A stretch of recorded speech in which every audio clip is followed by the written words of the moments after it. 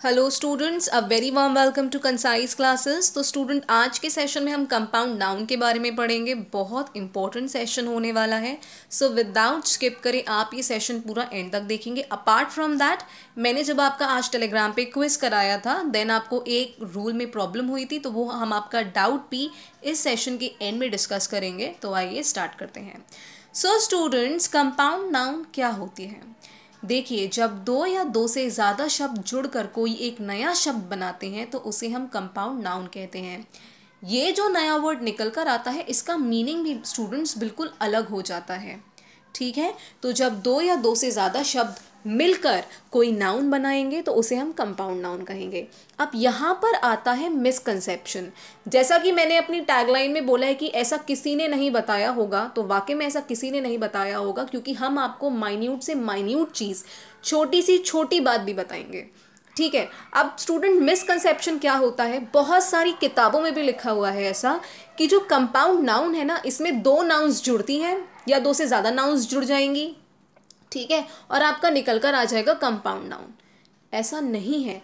Compound noun में सिर्फ़ noun नहीं जुड़ती है. ओके कंपाउंड नाउन सिर्फ़ नाउन का कॉम्बिनेशन नहीं होता है. हो सकता है वो एडजेक्टिव और नाउन का कॉम्बिनेशन हो. हो सकता है वो नाउन नाउन का कॉम्बिनेशन हो. ठीक है? तो कंपाउंड नाउन सिर्फ़ ये कहता है कि अगर दो वर्ड्स जुड़े और उससे अगर संज्ञा बनती है और उसका मतलब भी कुछ अलग होता है, उस नाउन का मीनिंग भी कुछ अलग, कुछ नया सा निकल कर आता है तो उसे हम स्टूडेंट कंपाउंड नाउन कहते हैं। फॉर एग्ज़ाम्पल मैंने यहाँ एग्ज़ाम्पल लिया है हॉट डॉग का, ठीक है? बहुत नॉर्मल सा एग्ज़ाम्पल है आप सभी ने हॉट डॉग खाया होगा। अब जब आप हॉट डॉग खाते हो तो आपने देखा है कि एक बन में आलू वालू भर देते हैं और आप उसे खा रहे हो।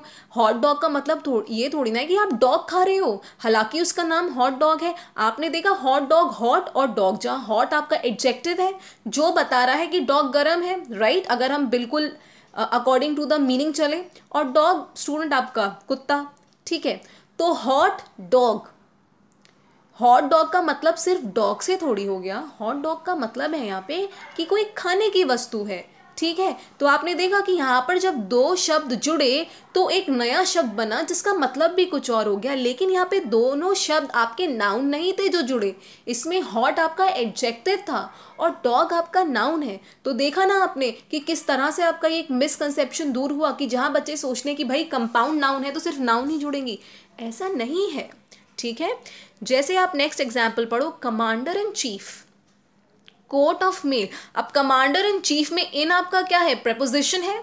कोर्ट ऑफ़ मेल में ऑफ़ क्या है? आपका प्रपोजिशन है. Son in law daughter in law step son maid servant ये सब क्या है स्टूडेंट्स आपके? ये सब आपके हैं कंपाउंड नाउन नेक्स्ट स्टूडेंट हम बात करेंगे कि अगर आपको कंपाउंड नाउन का प्लूरल बनाना है तो आप किस तरह से प्लूरल बनाओगे? देखिए कंपाउंड नाउन में जब भी आप उसका प्लूरल बनाओगे तो जो आपका प्रिंसिपल वर्ड है प्रिंसिपल वर्ड का मतलब होता है जो आपका मेन वर्ड है, आप उसमें एस जोड़ोगे, आप उसको प्लूरल बनाओगे. For example commander in chief commander in chief में इंपॉर्टेंट वर्ड कौन सा है? कमांडर तो अगर आप इसका प्लूरल बनाओगे तो आप कमांडर में एस लगाओगे चीफ में नहीं. That is commanders in chief और बच्चों, ये क्वेश्चन बहुत बार आपके टीचिंग एग्ज़ाम्स में रिपीट हुए हैं. जैसा कि मैंने आपसे कहा, मैं आपको बेसिक से पढ़ाऊँगी and trust me K V S P R T का क्वेश्चन पेपर उठा के देख लो. पीजीटी टीजीटी का क्वेश्चन पेपर उठा के देख लो। आप देखोगे उसमें दो से तीन क्वेश्चन जहाँ वो जनरल इंग्लिश पूछ रहे हैं या फिर सब्जेक्ट कंसर्न में जा रहे हैं, वो आपसे एक, दो, तीन क्वेश्चन तो बेसिक पूछ ही ले रहे हैं। ठीक है? तो आप, अगर आपको मेरी बात पे भरोसा नहीं है, आप क्वेश्चन पेपर उठा के देख लो। तभी मैंने आपसे कहा कि आप लोग क्या करते हो रूल्स रटते हो, उसकी एप्लीकेशन पर काम करते हो, लेकिन आपको समझ ही नहीं है कि आपकी जो पार्ट्स ऑफ़ स्पीच है, वो है क्या? कैसे आपका सेंटेंस बनता है? जैसे मैं अभी भी क्विज करा रही हूँ तो मैं एक चीज़ नोटिस कर रही हूँ कि बेसिक से बेसिक बात बच्चों को पता नहीं है कि फ्रेज क्या होता है क्लॉज क्या होता है, जबकि आपकी ये लेक्चर्स कब के बन चुके हैं राइट right? और मैं रेगुलरली आपसे कह रही हूँ कि अगर मैं आपके साथ काम कर रही हूँ, आपकी वीकनेसेस पे काम कर रही हूँ तो आपको भी बराबर मेरे साथ काम करना पड़ेगा, ठीक है? अब होता क्या है ना, हमारे मन में एक आशंका सी होती है कि ये अगर नया यूट्यूबर है, इसके व्यूज़ कम है तो ये पढ़ाने वाला भी बढ़िया नहीं होगा।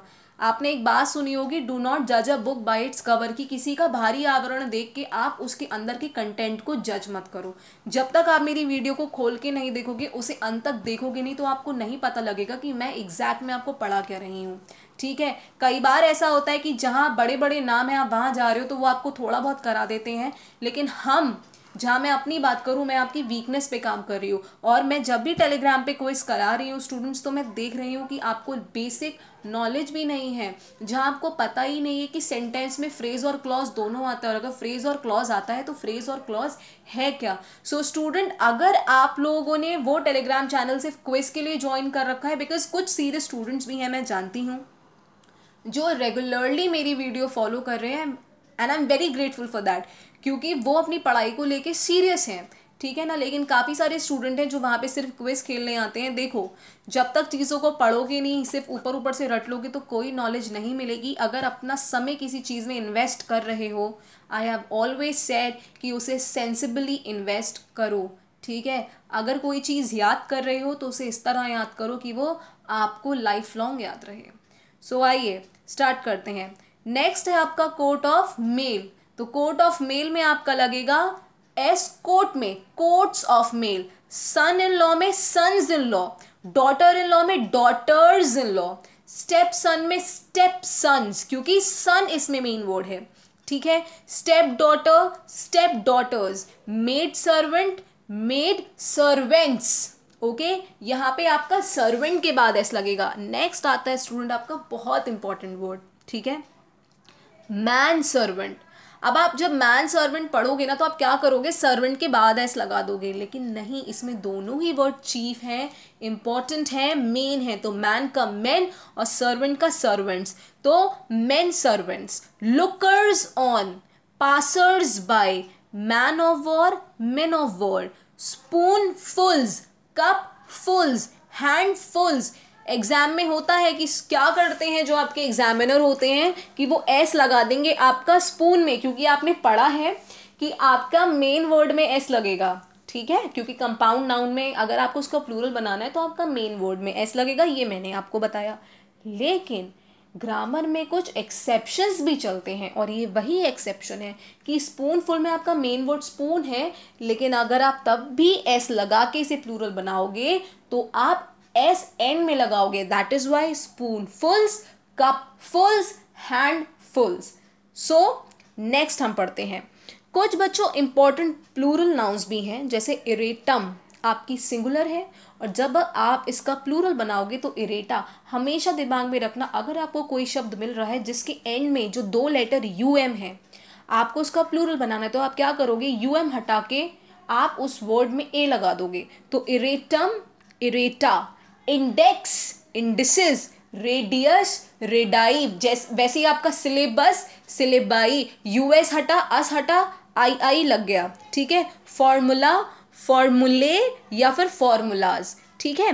मेमोरेंडा मैंने क्या कहा? यू एम हटा के ए लगा दो memoranda axes axes hypothesis hypothesis आपने देखा एक्सिस और हाइपोथीसिस में कि आई हट के ई e लग गया। बेसिस में आई हट के ई e लगा तो उसका प्लूरल बना बेसिस एनालिसिस एनालिसिस ठीक है? बहुत सारे एनालिसिस जब हुए तो एनालिसिस तो हमने आई हटा के ई e लगा दिया। नेक्स्ट इंपॉर्टेंट वर्ड आता है आपका क्राइटेरियन ठीक है? क्राइटेरियन तो क्राइटेरियन में ओ एन हटा के आप क्या लगाओगे? ए तो बन जाएगा क्राइटेरिया ठीक है? फिनोमिनन आपकी सिंगुलर फॉर्म है। फिनोमिनन का प्लूरल बनाओगे तो बनेगा फिनोमिना ठीक है? आई एम सॉरी स्टूडेंट ये गलत टाइप हो गया है। ये आपका होगा P H E N O M E N A ठीक है? फिनोमिना नेक्स्ट है आपका मैडम का मिसडेम्स ओके मैडम का है student mesdames wait a minute okay so आपको ये सारे नाउन्स भी याद करने पड़ेंगे। बहुत इंपॉर्टेंट हैं। आ जाते हैं। तो आप ये दिमाग में रखो। वैसे तो बहुत सारे थे, लेकिन मैंने कुछ इंपॉर्टेंट निकाले एज पर योर एग्जामिनेशन तो मैडम का मिसडेम्स फिनोमिनन का फिनोमिना स्पेलिंग सही कर लेना।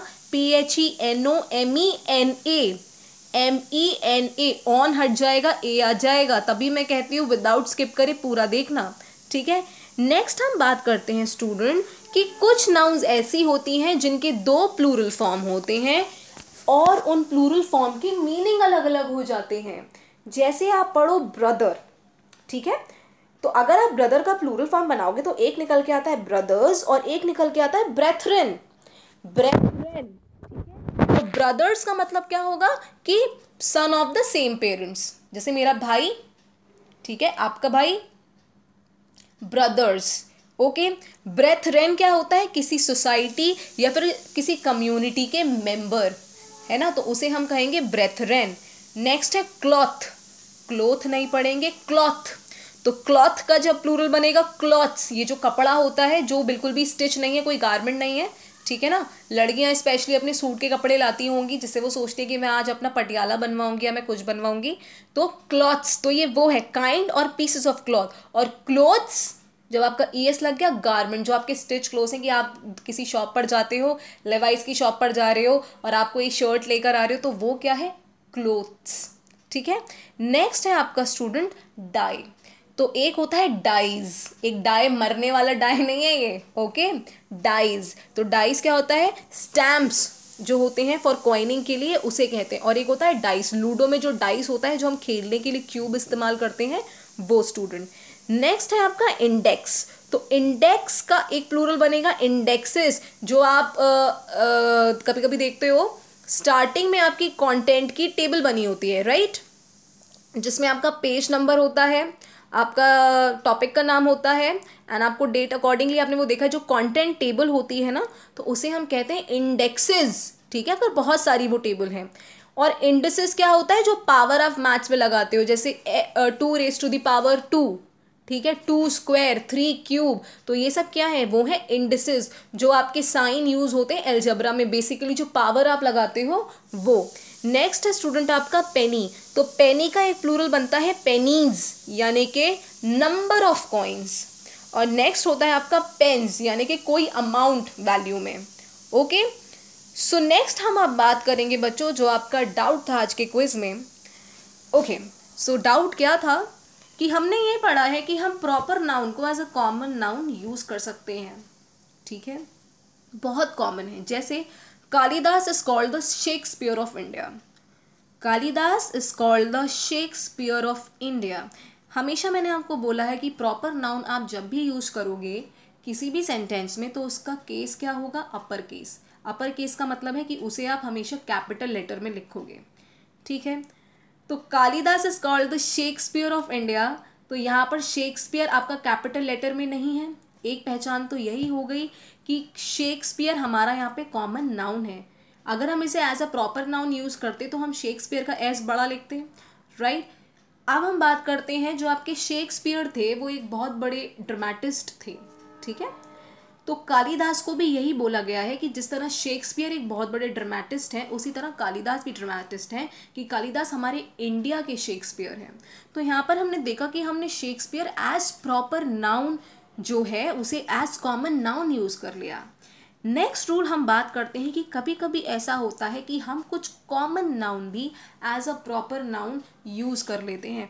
बच्चों, मैंने आपसे हमेशा एक बात बोली है कि सेंटेंस के कॉन्टेक्स्ट पर ध्यान दो पढ़ा पढ़ाया ज्ञान आप पढ़ते हो, लेकिन ग्रामर अनप्रोडिक्टेबल है, ठीक है? ग्रामर एक ऐसी लैंग्वेज है कि अगर आप एक साल बाद देखोगे, आपको पता ही नहीं है कौन सा नया रूल निकल कर आ गया।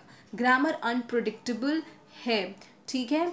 आपके एग्ज़ाम में सिर्फ़ इतना ही आएगा कि एक जो प्रॉपर नाउन है, वो as a common noun use हो सकती है। लेकिन जब मैंने आपसे कहा है कि मैं आपको बेसिक पढ़ाऊँगी, आपको मैं सारी चीज़ों की समझ दूँगी तो जी हाँ ऐसा भी होता है कि जो कॉमन नाउन है, वो भी आपका एज अ प्रॉपर नाउन इस्तेमाल हो जाता है। जैसे the next church the tourist visited was the church of England the next church तो चर्च यहाँ पे आपका क्या है?